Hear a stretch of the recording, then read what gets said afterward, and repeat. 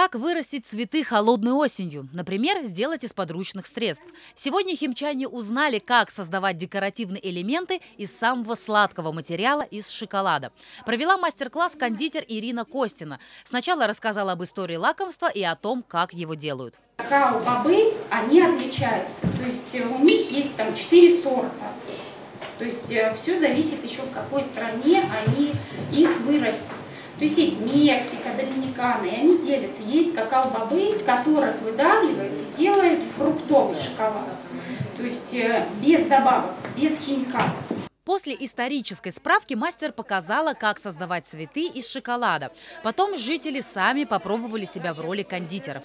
И, конечно, продегустировали свои изделия. Мастер-классы в Химках проходят регулярно. Подробную информацию о дате и времени можно найти на страницах газеты «Химкинские новости». Также информация о будущих мастер-классах есть в соцсетях по хэштегу «Химки интересно жить» и на специальном сайте eventadamhimki.ru.